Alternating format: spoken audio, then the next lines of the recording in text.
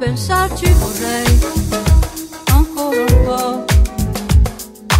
Noi siamo impauriti da quest'angelo, a pensarci è così, chissà dov'è l'ultima parola che riguardava te. Ma sei